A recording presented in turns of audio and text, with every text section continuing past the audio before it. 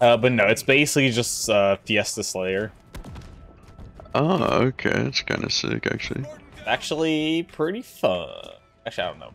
Uh, well, I guess it depends on what weapons you get. Um, God. but you can spawn with like two power weapons, and that's pretty fun. Ooh.